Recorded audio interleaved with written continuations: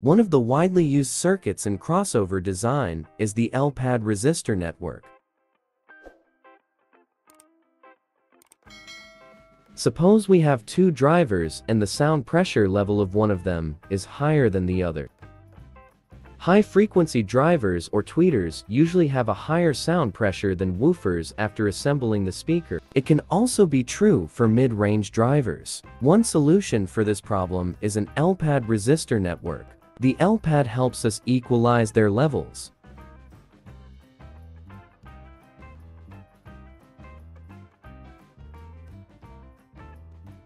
This website calculates the values of R1 and R2. Its link is available in the description. Enter the driver's DC resistance in the first cell. The second is the attenuation value in dB, and the third is the power of your amplifier in watts. Suppose the SPL of a 6 ohm driver must be reduced by 6 dB. After that, click on Compute. As you can see, the values of R1 and R2 and their allowed power have been calculated. The consumed power of the driver has also been calculated.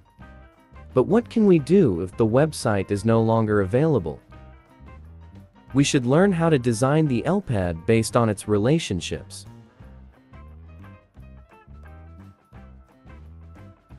First, we model the speaker with the resistor called R3, which is equal to the DC resistance of the driver.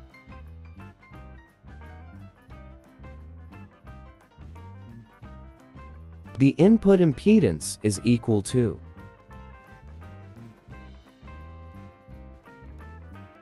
As you know, the result of this formula equals the resulting resistance of the parallel resistors.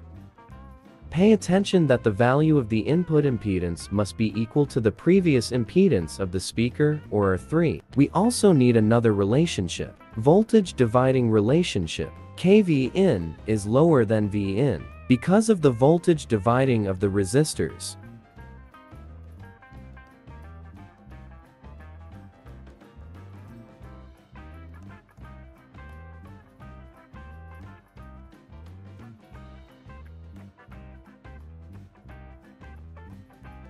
Now, we can write a formula for R1.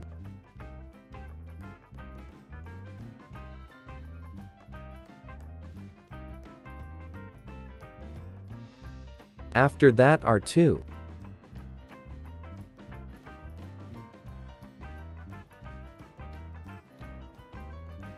Substitute R1 in this equation.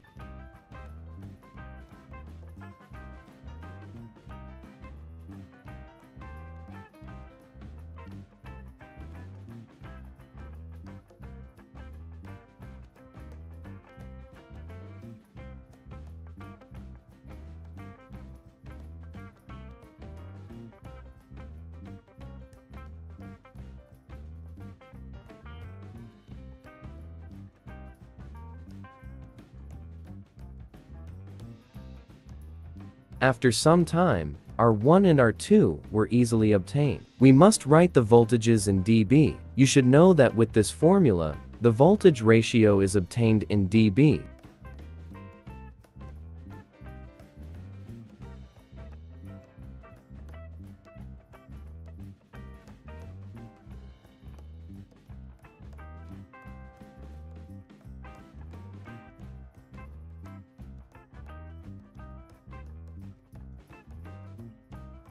K, N, R1, and R2 are known values now. Let's try the same values as the introduced website at the beginning of the video. Attenuation was 6 dB, and the speaker impedance was 6 ohms.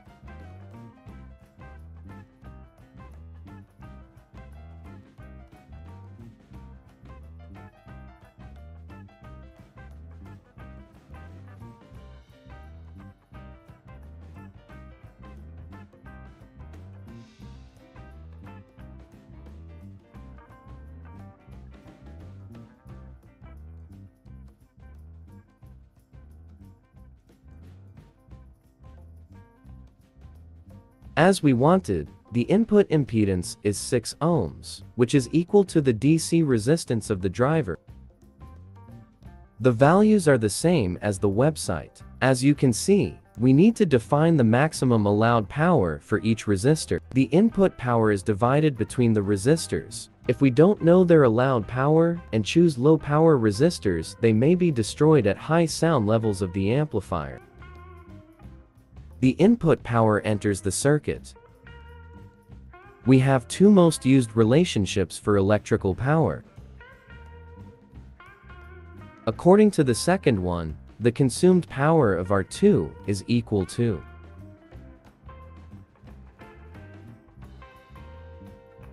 Now substitute R2 in the equation. Pn is equal to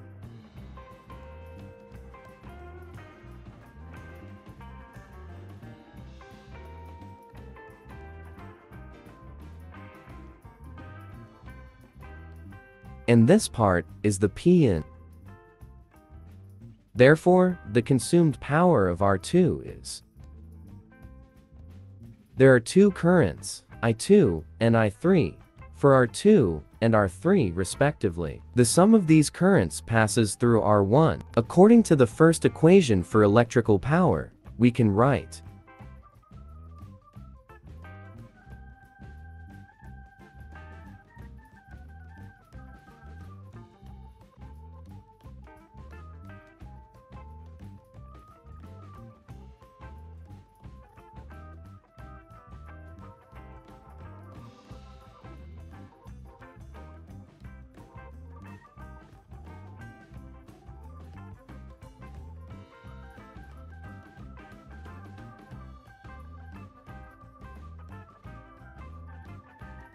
For the driver, we can write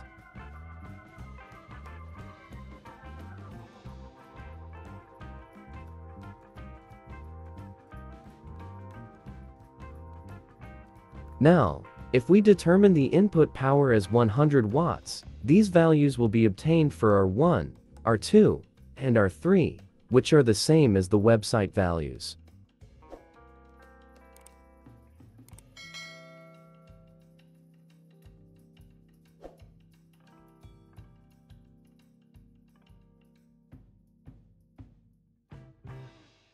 Thanks for watching.